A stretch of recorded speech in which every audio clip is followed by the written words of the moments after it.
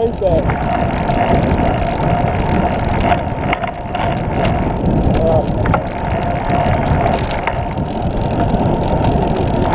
pull back and go through here. Maybe it's those walking school buses.